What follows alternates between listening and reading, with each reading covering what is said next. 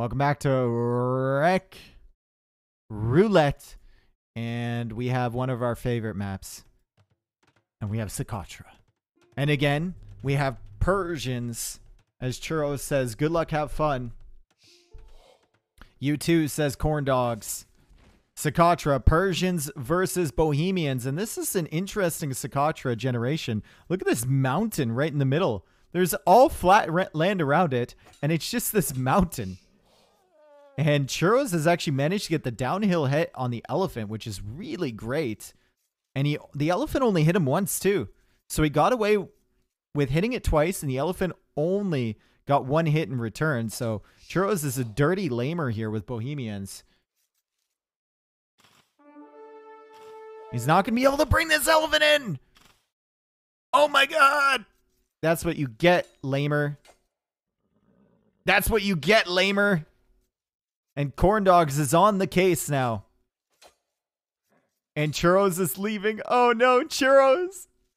Churros might have thrown. Churros might have thrown. Corn Dogs is still trying to block this. All he needs to do is block or get the elephant to hit the scout one more time. That scout is super weak, and Churros is going to get back to his TC. Really, really impressive stuff. Only six seconds of idle TC time with all that laming, too. Super, super impressive for that elephant to go back three times, and he still brings it in. Really nice, but we don't we don't appreciate lamers, and we hope that Corn Dogs comes forward now and lames the hell out of him.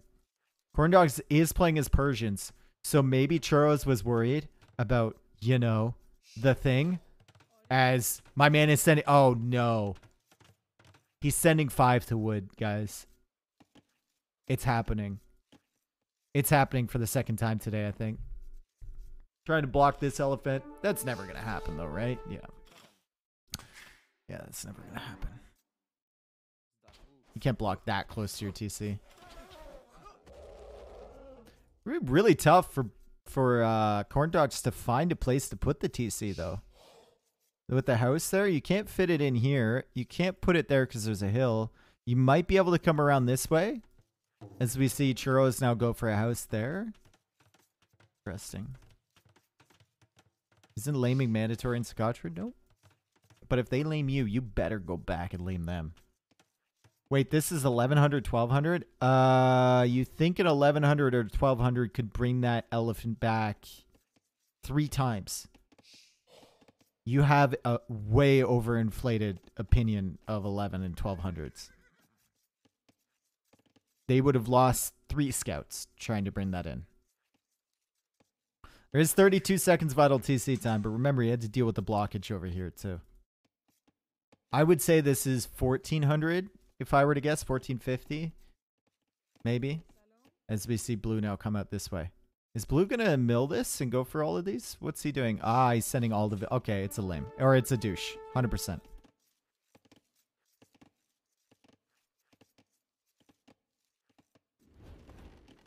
that mill from churros i don't know getting a little bit getting a little bit greedy when you know your opponent is Persians and you might suspect that there's a lame coming anyway, and that TC is going to be plopped down over here. Good scouting there from Corn Dogs to know that the TC was going over in this location. Unfortunately for him, Churros is going to be standing over the TC foundation, and yeah. Let's see Churros' response. He's going to contest this. Well, there's not too many villagers, so it might actually work here. It's very rare that you can actually deny the TC Foundation with Vils, though. It's very, very rare. These douchers, they're used to this. You know, they've had tons of people try everything to try and stop it. And villagers is pretty, pretty difficult to actually deny with. As we see all the economy from churros running around, except these three villagers, trying to kill all the villas, but the TC is at 90%. The TC is going to go up. The TC is going to go up, and now he has to run away. This was super bad. This was super bad for Churros. And Churros is housed. Churros is housed. Is he coming forward here? He's just gonna send his He's gonna send his entire eco forward. Run with the goats, my dude. Run with the goats. Delete the mill. You need the wood. He's running with the goats over here, and he's going to trap himself into this little area back here.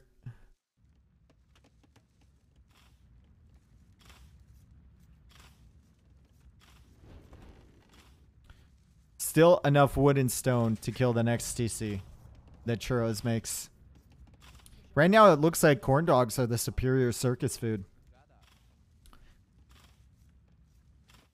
It does look like it, doesn't it? As we see the villagers still chopping over here. Churros... Corn Dogs doesn't have his scout alive, right? So Corn Dogs can't tell where Churros is, but it's a very small map. There's only so many places he could go. Not many places to run to. How can you have two L's and no food? Um, because he spent it on villagers? It's only 800 food. And he like kind of got pushed off his zebra and he didn't take his berries, right? Lots of idle TC time now for corn dogs. Is he still working away on this town center from Churros? Churros still producing vills though, and this vill should get out in time. We look at the vill difference now, 24 to 18. Eco KD is 1 to 1 currently. As Corn Dog now escapes to go search for his opponent. And Churros... Oh! Oh, wow. What a good spot for a TC. I did not even think about that. On the hill. There's nowhere... I think this is the only place that Corn Dogs could put a, a TC to kill that. That is so nice, that generation. Oh, wow. That is amazing. So fortunate that it, the map is like this. Also, great call out from um, churros to realize that. And he goes for... I love this. Really, really good. Now, corn dogs can take this down, so you might want like three or four more palisades here rather than just one. He can kill that, as we see corn dogs now coming in here with villagers, and he's gonna discover the town center because he was going out for the berries. And I think he's going to realize that there's nothing he can do about this. Unless he kills this palisade. That's the only way.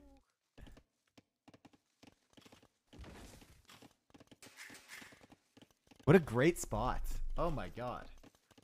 What a fantastic spot for a TC.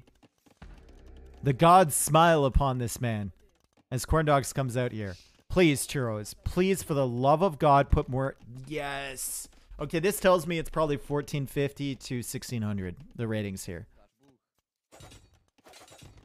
Kills that, just in case. Another palisade here. Another one here. House here. Good. Palisade here. Just keep putting those foundations down, my dude. Fantastic. And blue is now going to have to go for a TC over here, but Churros realizes that, and he puts foundations over here. Great. That's amazing. Really, really good um, counterplay to the Persian douche. One right here. One right here, please. Please, please, please, please. Yes.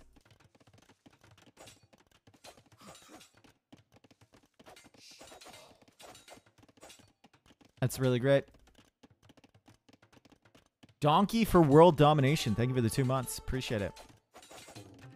And we see corn dogs now He's going to try and put his TC here. Will that range? If he puts his TC, he's walling this off so he can kill these walls and then put the TC here. It might range from the bottom of the hill, maybe? No, I don't think so, right? I don't think it will. Feudal Age is on the way. And they're just peacefully coexisting here, I suppose. It's a race to see who can forage faster.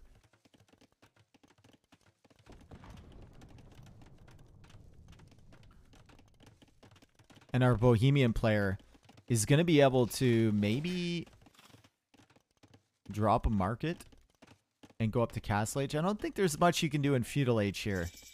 Maybe like a tower to even a tower wouldn't accomplish anything. I think your objective should probably just be to go up to Castle Age. Get some Monk Siege on the field or get a castle. You have the stone right here.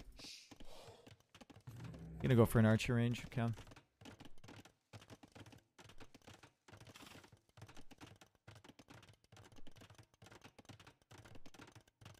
Wouldn't uphill advantage make a big difference? I don't think it does, because it's only if you think about the armor and the actual attack power, you're not getting much from that percentage, right? Like the extra arrows are counting as extra arrows. They're not adding extra damage. There's a tower there from Churros. I think the tower is unnecessary. Uh, I also think the archer range is probably unnecessary, but he might be able to find some value like over here as he comes over with the mill. Okay, he's going to be able to find value with those archers. But he probably could have, if he didn't get, make the tower, didn't make the range, didn't queue up the archers, he probably could have been up by now with a market.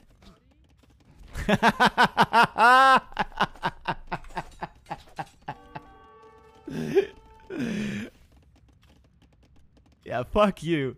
Fuck you too.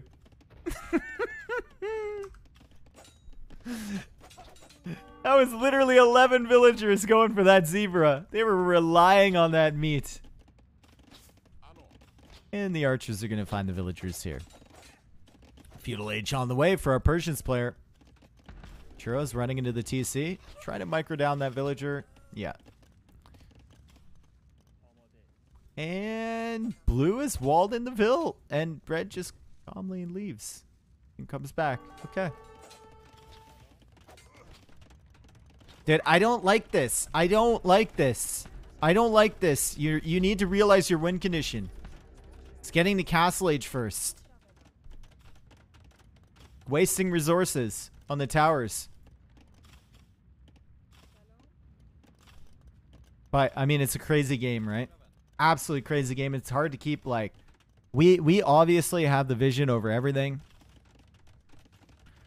Um, but it's hard to keep your head in the right place in a game like this. And that tower is better. That tower is better because it cuts off some of the farms. It's still a little bit too far back, in my opinion. But he's nervous, clearly, about Corn Dogs rushing it down. And Corn Dogs is now going for extra villagers there.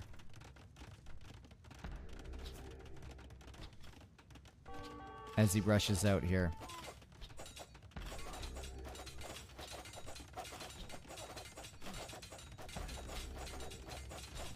My problem with this is like you have an unassailable position up here. You have golds under your control, completely unassailable position for blue to really hit any of your res.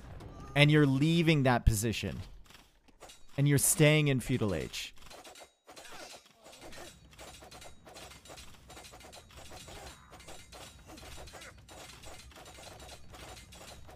Unassailable? Yep. Means you can't assail it. Archer's coming over, though. And blue is coming out here with villagers. Eco KD is now 5 to 4 in favor of corn dogs. Well, 5 5 now. Very, very even. And red is about to lose another villager here, maybe? Yep, there goes another one. And a third one.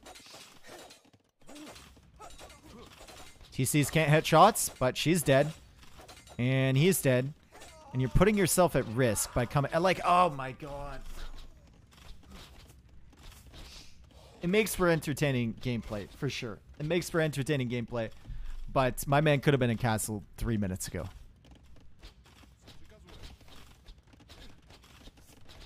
With siege and monks and everything. Or even a castle. You buy your way up to castle age, and then you buy a castle. And then he can't do anything against you. Okay, villager count 29 for corn dogs, 23 for churros. Corn dogs now getting fletching. Churros still without fletching. Still hasn't hit the wood line here. Always when you're getting douched, remember, even if it looks like all their eco is forward, they likely have something in the back, so you can go hit that. And Archer's coming around this side. Still no fletching, so they're going to have problems killing all these vills. Almost within range of that TC as well, but he's going to find some value. That's nice. That's really, really good.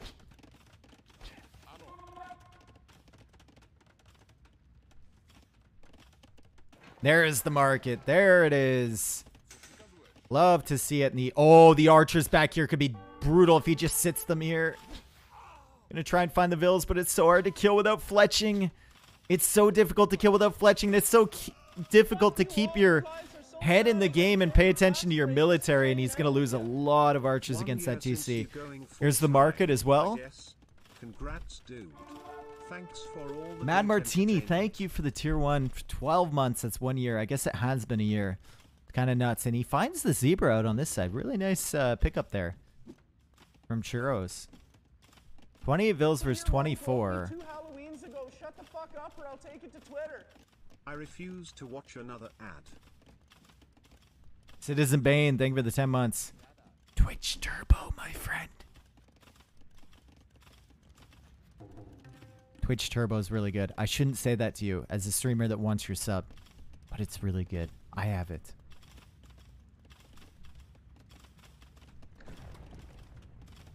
All right, fletching. He's spending the food on fletching. Still not going up. And now he doesn't really have even the gold to think about buying his way up. He's adding another archer range. As he has villagers on food over here, so the food income is going to be okay, I guess. Goes out to the stone now. And blue is basically trapped in on this side. Blue is getting a lot of farms, though. He's got 12 farms now. Trying to kill this villager over here. He's kind of got the towers protecting him a little bit. Still wondering what to do with these vills. And Churros is going to find the wood line at the back. He's going to see this. So he can send the archers over in that direction. Man, I love how, like, the position is completely flipped, right? Like, red started over here, blue started over here, but now red is just on this mountain in the middle, and blue is, uh, blue is over where red's TC was. Great stuff. And Corn Dogs might go up to Castle Age first. He's got a lot of gold in the bank. He's got the food building up because of the farms. More archers being queued here from Churros. What elo are these guys? We don't know. I'm guessing around 1400. Um, it always looks worse when you have a game like this with a Persian douche because things get crazy, right? And people get into situations they're not used to. And the elo in general always looks lower when you're watching a rec than it actually is. This looks much more like 1100 to me, to be honest. Strode, remember the beginning of the game with the elephant thing? The elephant went back three times, and he still managed to get it back to his TC. And on the first elephant hit, the elephant only got one attack against him, which is really good timing to pull away.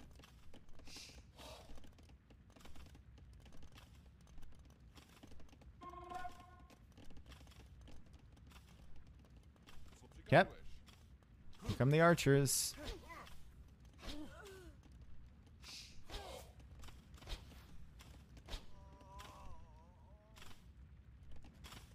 And there's the market from Blue. Thought he would add that market earlier, and he actually escaped with the villagers. He escaped on the backside here. He should have had that market a very long time ago to buy his way up. So we see villagers still kind of chilling underneath the TC looking for a job to do. More vills over here, and Churros is hunting those down. Villager count now 34 to 35. Once the market goes up, so will blue. It's only four on food and three on gold for uh, Churros. And blue is going to click up to Castle Age. I'm still convinced that Castle Age was the win condition here for our Bohemians player. I don't like the archer play. And I certainly don't like the towers coming forward and putting your vills at risk, but he's looking for the vills right here. He's still picking away with the archers. And he's going to find a couple more. Oh my god. Man got sauced over here. He got walled in.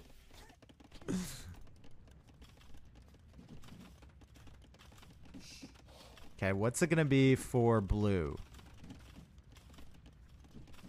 It's going to be knights.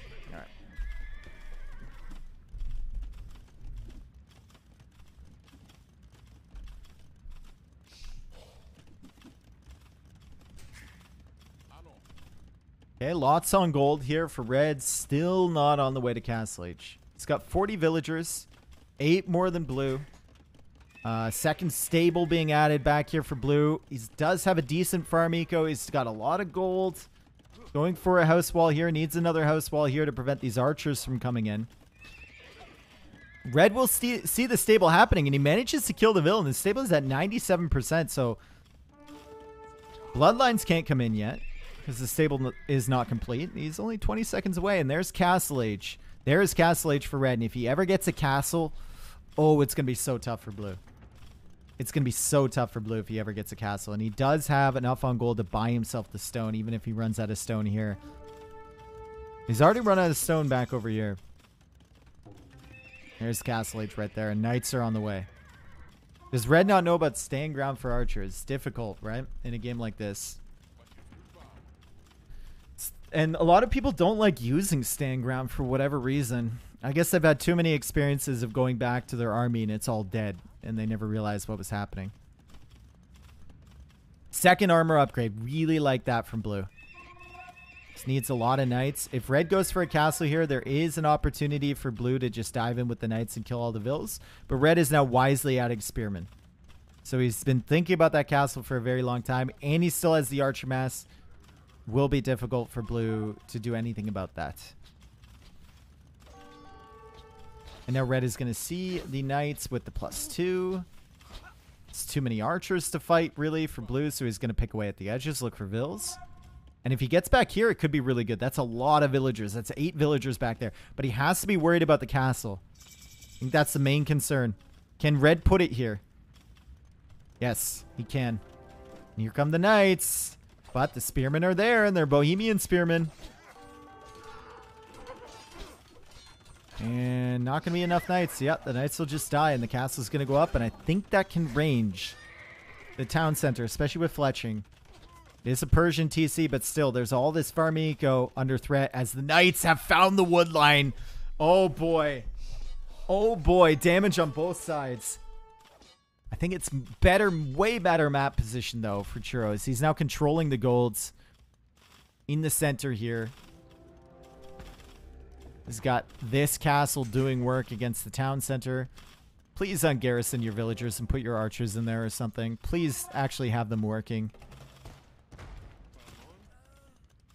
Hussite wagon now out. Please ungarrison your villagers, my dude. Please ungarrison your villagers.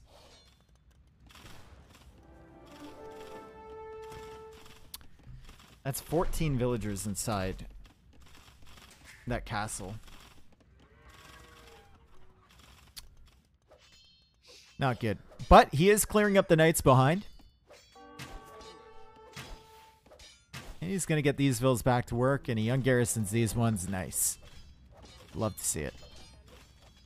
Where does blue go from here? He's going to tower over here and secure this res. Where does blue go? Where does he go? Got four knights only. His TC is under fire. His farm eco is uh, is threatened as well. His gold is kind of being cut off.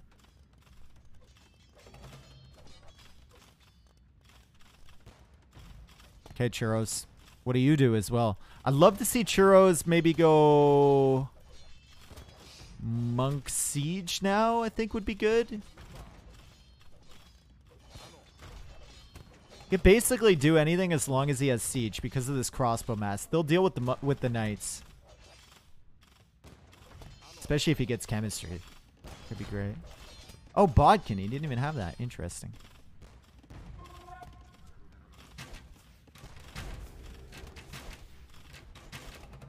Interesting decision making going after the tower with crossbows. Okay. Guess he really believes in the Hussite wagon. but it's firing a cannon. Still no eco upgrades except the automatic uh, gold and stone upgrades that he got as Bohemians. Still nothing. And Corn Dog says, GG, well played. He only had wheelbarrow and he realizes there's nothing to do. What a fantastic um, position there in the middle. And head, great heads up play from Churros to put the TC in the middle there. And then to put all of these palisade walls. That's what won him the game, honestly. He was so far ahead at that point. Even delaying Castle Age and going archers and losing the villagers coming forward to tower his opponent still worked out for him. He, he just got himself so far ahead.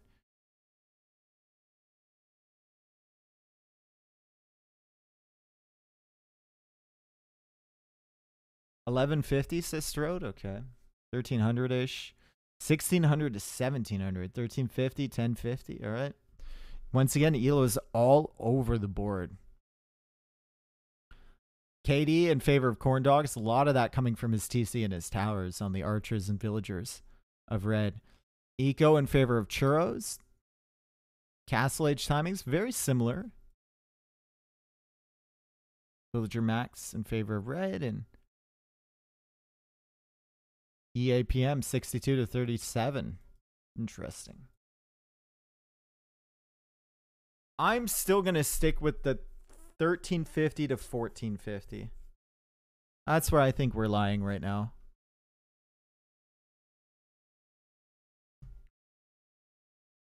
Yeah, I think that's where we're where I'm convinced.